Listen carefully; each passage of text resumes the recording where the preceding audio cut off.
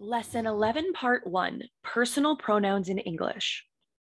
A pronoun is a word that takes the place of a noun. The word that, that it replaces is the antecedent. Sally is a girl, she is a teacher.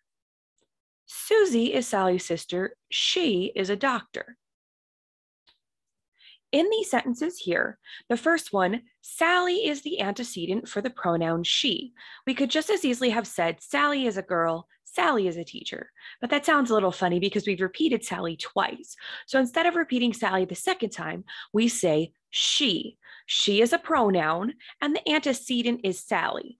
That means that she means Sally in this particular sentence. But if you notice in this second sentence, Susie is Sally's sister, she is a doctor. She is referring back to Susie here. So in this sentence, she means Susie. Susie is the antecedent for she in this sentence. The thing about pronouns is they change meaning based on what their antecedent is because they'll they'll have a different they have the same inherent meaning, like they have the same definition, regardless of what sentence they're in, but what they're actually referring to changes based on what the antecedent is for that particular situation. Personal pronouns are pronouns that have either first, second, or third person built into them. For first person in English, we have I, me, my, we, us, and our. For second person, we have thou, thee, and thy, ye, you, you, and your. Now, we don't use the italicized ones in modern English. I'm showing them to you so that if you see them in the King James Version, you'll, you'll know what they are. Um, we'll, we'll get to some more specifics a little bit later, but I'll go ahead and throw this in here now. Thou, thee, and thy are all singular second persons. When there's just one person you're talking to, ye, you, and your are all plural second person when you're talking to a group of people. That's not a distinction we make anymore in English. In English today, we just use you or your. We don't care if it's one person or two though we can make a distinction. We can say y'all, or we can say you guys, or we can say youans in some parts of the country. So we can make a distinction if it's really important to us, but normally we don't really care about the distinction. But here are what the Old English pronouns are. Third person, he, him, his, she, her, it, its, they, them, and their. Now you'll notice that English only makes a distinction based on gender in the third person singular. We don't have a different I for if it's a girl talking or if it's a guy talking. We don't have a different you for if you're talking to a guy or talking to a girl. Some languages do. Hebrew actually does for second person, for the singular and for the plural, though it's just, they just have one form for the first person. Greek, we're going to find out, is just like English, where first and second person, there's no gender distinction, but third person, there is a gender distinction. And we can see that here in our third person singular, but we don't make a distinct, a, a difference in third person plural. We don't have a th- different they for a group of guys or a group of girls. We use the same words. These pronouns also have number built into them.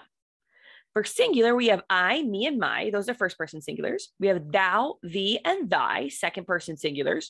Or we can use you in modern English. We have he, him, his, she, her, it, and its. Those are all third person singulars. And again, the italicized ones are not used in modern English. For plural, we have we, us, and our. Those are first person plurals. Ye, you, and your. Those are second person plurals. And they, them, and their, which are third person plurals.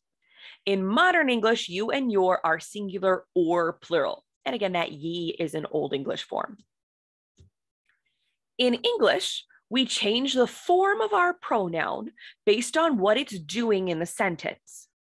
So we use nominative case pronouns, I, you, he, she, it, we, and they for subjects and for predicate nominatives, just like the nominative case in Greek. We use objective case pronouns, me, you, him, her, it, us, and them for direct objects, indirect objects, and objects of the preposition.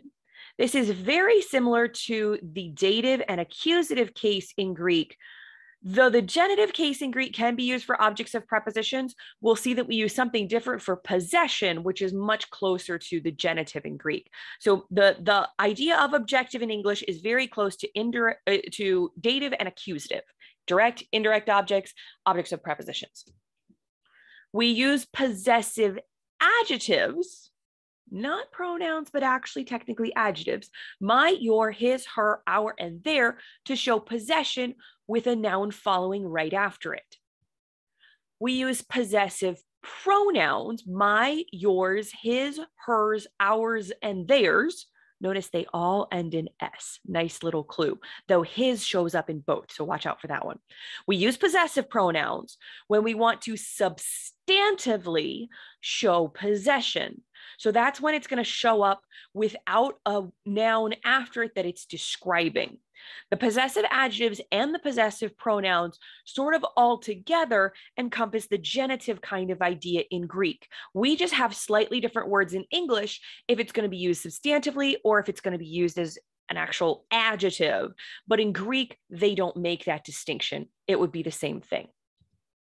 So an example of nominative here would be I went to the store. It's the subject of the sentence. Objective, he brought it to me.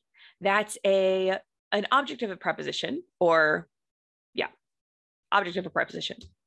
Possessive adjective, this is my book. Here, my is describing book as sort of like an attributive adjective, a, a regular everyday adjective. So it's a possessive adjective. Whose book? My book. Here's a possessive pronoun the book is mine.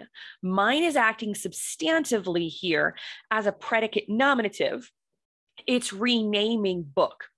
Most, almost, almost every time in English that you see a possessive pronoun, um, all of the examples I can possibly think of off the top of my head, they're going to be predicate nominatives, just like this one here. They'll normally come at the end of a sentence all by themselves after a linking verb. Summary we use nominative case pronouns for subjects and predicate nominatives. We use objective case pronouns for direct objects, indirect objects, and objects of preposition. We use possessive adjectives to show possession with a noun. We use possessive pronouns when we want to substantively show possession. In English, only third person singular pronouns have gender know the person, case, and number of English pronouns. And here's a handy chart that you can use to sort of mentally look at all those. These are all first person pronouns. We have the singulars and the plurals, nominative, objective, possessive adjectives, possessive pronouns, and you can see how all that goes there. The old English forms are in parentheses. And if you want to sort of study that, you can either pause this or you can look down at the bottom of the page um, on, on Canvas there and you should be able to see it just fine.